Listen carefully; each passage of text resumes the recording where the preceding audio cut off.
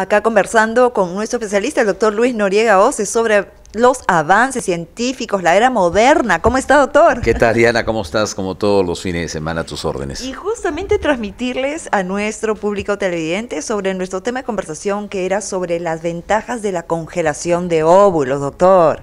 Bueno, yo creo que la congelación de óvulos es un proceso, eh, pero que de alguna manera hay que buscar una analogía, o sea, Antiguamente uno entraba a operar y no había pues eh, resucitador, por ejemplo, estamos hablando pues cientos de años atrás. En el momento actual la medicina se ha convertido en un tema preventivo, o sea, la prevención es el anticiparte a los hechos. Eh, tú vas a un edificio y tienen luces de seguridad y tienen extintores por los incendios, eso se llama prevención. En la vida humana hemos entendido que la mujer tiene un ciclo de vida, digamos, reproductiva, que entre los 18, 20 años hasta los 40 años produce óvulos que te van a permitir generalmente poder tener hijos y hay una vida sexual. Sin embargo, el mundo actual, el mundo moderno, causó ciertos movimientos en lo que llamamos la capacidad reproductiva de una mujer. Entonces la chica a los 40, 43, 44 años, 45 años quiere tener un hijo, pero, oh, oh maravilla, no hay óvulos, no hay con qué trabajar, entonces tiene que limitarse a Ah, bueno, pues a ir a un banco de óvulos, conseguir óvulos de una persona físicamente, racialmente, étnicamente compatible.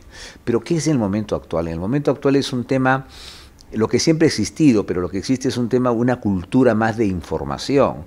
Oye, chicas, chicas menos de 33 años, por favor, guarden su fertilidad, vivan la vida que quieran vivir, o sea, nosotros no somos quienes los indicados para ver qué deben hacer o no deben hacer. No hay una ley, no hay una no hay nada que pueda determinar que tienen que guardar óvulos, no tienen que guardar, no, solamente como información que pasados los 33, 35 años la fertilidad decae. Entonces, la capacidad de tener óvulos de una mujer conforme avance la edad va a ir disminuyendo. Entonces, ¿qué es lo que hacemos? Que chicas desde los 28 30, 32, 33 años, traten de congelar sus óvulos. Sacan sus óvulos, quedan guardados por uno, por tres, por cinco, por diez años, lo que ustedes consideren. Y lógicamente mantengan su vida normal, se casan o pretenden tener su hijo, tienen su vida sexual y se embaraza, bestial. Pero si es que no embarazaran, porque ya no tiene óvulos, un momentito, yo tengo mi propio banco de óvulos. O sea, Congelar óvulos es una forma preventiva de guardar tu fertilidad a futuro, eso es todo. Yo creo que es un tema bastante actual. La polémica, acá no, yo no le veo polémica cuando uno quiere hacerse algo preventivo, te haces un papá Nicolau para prevenir un cáncer que te vaya a matar. En el momento actual ya no existen los cánceres como se veían antiguamente, que las personas llegaban en últimos estadios.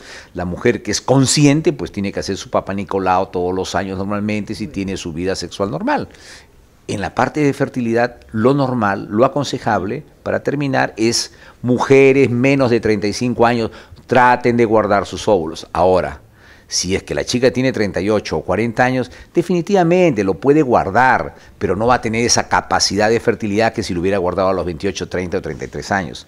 Y entenderlo, y eso es lo que quiero que entienda, un óvulo de una mujer de 39 o 40 años va a ser mucho mejor que un óvulo de una mujer de 43 años.